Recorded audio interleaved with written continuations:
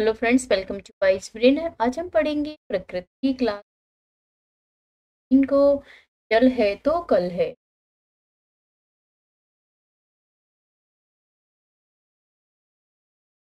Question number first है, प्रश्नों के उत्तर लिखिए।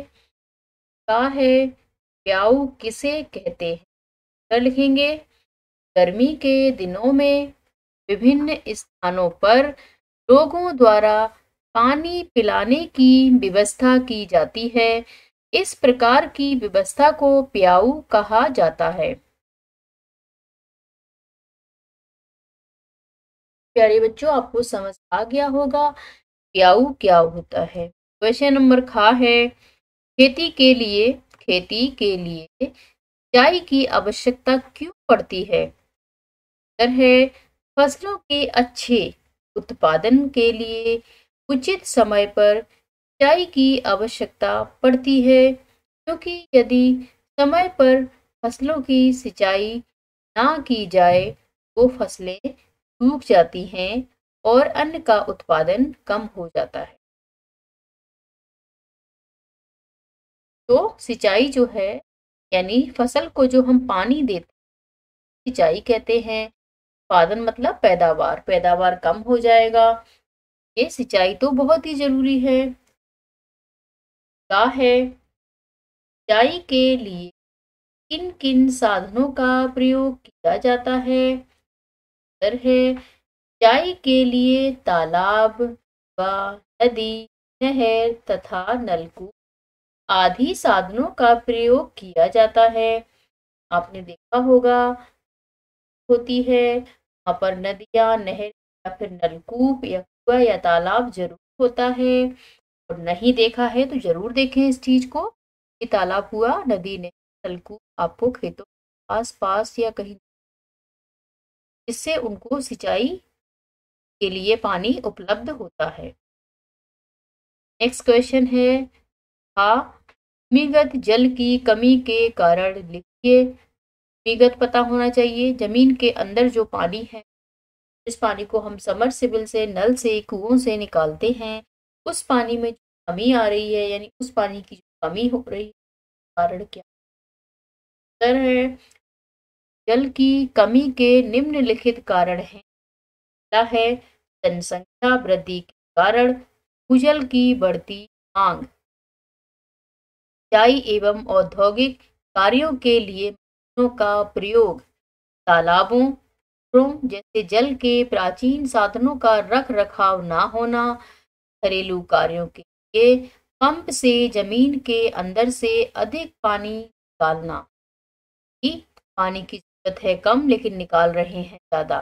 वर्षा के जल को एकत्रित ना करना, बारिश बहुत ज़्यादा हो जाती है, वो पूरा पानी वेस्ट हो जाता है। उस पानी को स्टोर कर पाते हैं और वो पानी गंदे पानी में मिल जाता है। ये सारे कारण हैं। भूमिगत जल की हेल्प कर रहा हो, पसंद आ रहा हो तो लाइक कर दे और तो सब्सक्राइब ज़रूर नया है? क्या है? जल की, पुनर्भरण की विधि कौन कौन वाटर है के नीचे वाटर है, जल है, उसको हम पुनर्भरे, पुनः कैसे भर ये कौन कौन सी है? जल की पुनर्भरण की प्रकार हैं। तालाबों में पहला है, तालाबों में वर्षा के जल को इकट्ठा करना। दूसरा है, छत से प्राप्त वर्षा। वर्षा कर लेंगे। के जल को पाइप के माध्यम से पुनर्वरण गड्ढों गड्ढों में इकट्ठा करना। उपयोग के बाद बहने वाले पानी को पुनर्भरण गड्ढों में इकट्ठा करना। ये सारे तीन पॉइंट्स हैं, आपको पुनर्भरण में मदद करते हैं। विधियाँ पानी है। हमें उस वेस्ट नहीं करना है, हमें उसे कैसे इस चीज़ बस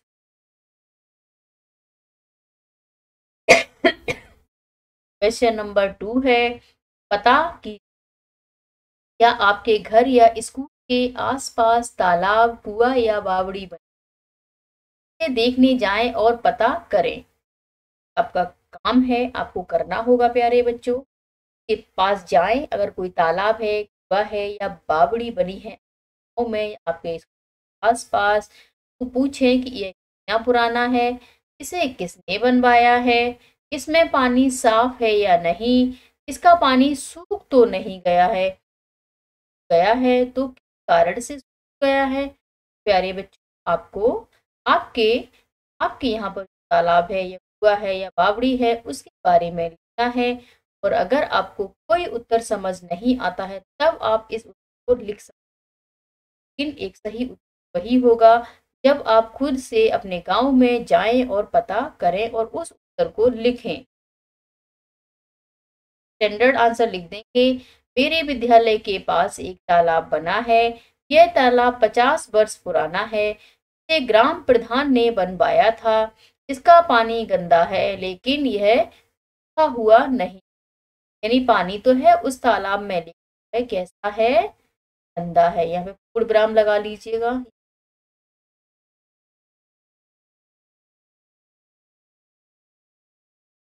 ठीक है।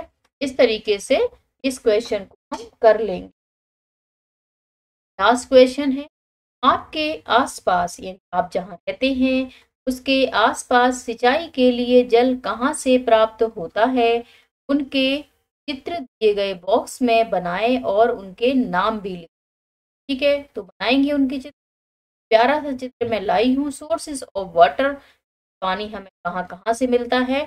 तो एक तो हमें नल से मिलता है। इसमें अंग्रेज़ी में लिखा है तो आप हिंदी में भी लिख ले। नल से मिलता है। तालाब से मिलता है। तालाब वर्षा से मिलता है। है ना? कुआ से मिलता है।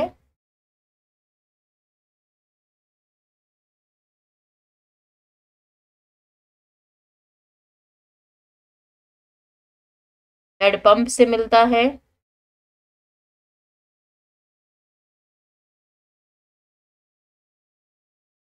और नदी से मिलता है। ठीक है? इसमें इंग्लिश में लिखा हुआ है, मैंने हिंदी में और लिख दिया ताकि आपको आसानी रहे। ये हमारे सोर्सेज ऑफ़ वाटर हैं जो हमें सिंचाई के लिए हैं, या तो नलों से, या तालाबों से, या वर्षा के पानी से, या कुआ से, या हैंडपम्प से। और जो लोकेशन पे डिपेंड करता है कि आपकी आपकी खेती कहाँ पर हो रही है।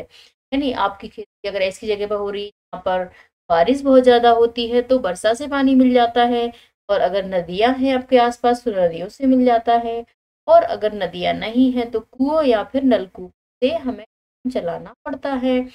प्यारे बच्चों तो आपके आसपास सिंचाई के जो भी साधन अवेलेबल हों, उपलब्ध हों, उन्हीं को इसमें देखकर बना ले, नहीं तो आप सारे भी बना सकते ये ज़्यादातर सभी जगह पर ये वाले साधन अवेलेबल यानी कि उपलब्ध रहते हैं।